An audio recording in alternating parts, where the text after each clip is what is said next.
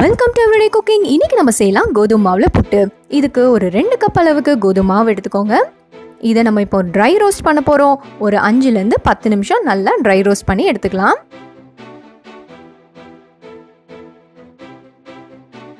Already நம்ம ராகியும் அரிசி புட்டும் பார்த்துருக்கோம். ராகி மாவு நம்ம வறுக்காமலே செஞ்சுருக்கோம்.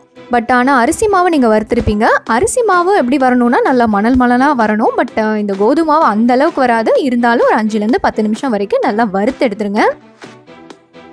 இதோ வறுத்த கோதுமை மாவு ரெடி இது ஒரு அஞ்சு நிமிஷம் ஆறட்டும். இதோட தேவையான அளவு உப்பு சேருங்க. தண்ணி தெளித்து தெளித்து பெசர ஆரம்பிங்க.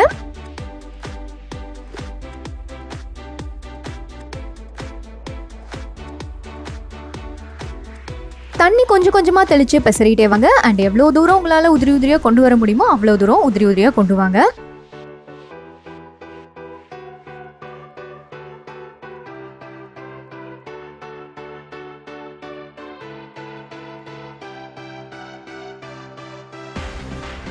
இதோ இது பர்ஃபெக்டாக உதிரி உதிரி ஆயிடுச்சு. பட் இருந்தாலும் நம்ம செக் பண்ணிக்கலாம். கொஞ்சமாக மாவு கையில் எடுங்க. பிடிச்சு பாருங்க. பிடிச்சாலும் அப்படியே நிற்கணும் உதுத்து விட்டாலும் நல்லா உதிரணும். அதுதான் பர்ஃபெக்டான ஸ்டேஜ்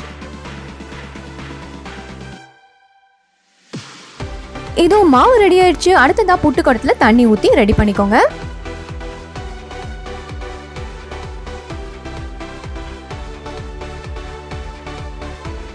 இப்போ இதில் நம்ம ப்ரிப்பேர் பண்ணி வச்சிருக்கிற மாவை ஃபில் பண்ண ஆரம்பிக்கலாம். அண்ட் ஃபர்ஸ்ட் லேயர் எப்பயுமே தேங்காய் போடுங்க. நாங்கள் இங்கே போடலை பட் இருந்தாலும் நீங்கள் தேங்காய் துருவி போட்டிங்கன்னா ரொம்பவே நல்லாயிருக்கும் எவ்வளோ எவ்வளோ தேங்காய் போடுறீங்களோ அவ்வளோ அவ்வளோ இது ரொம்ப நல்லாயிருக்கும்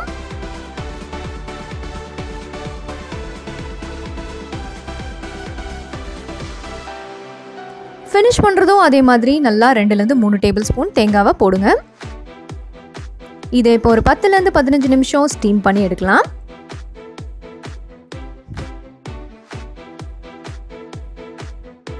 அண்ட் uh, புட்டுக்கோடம் இல்லாதவங்க எங்களோட அரிசி புட்டு மாவு வீடியோவை ரெஃபர் பண்ணிக்கோங்க. எப்படி ஷேப்பாக புட்டுக்குடம் இல்லாமல் புட்டு செய்யலாங்கிறத அதில் நாங்கள் சொல்லியிருக்கோம். இதோ நம்மளோட கோதுமை புட்டு ரெடி ஆயிடுச்சு வெளியே எடுக்கலாம்.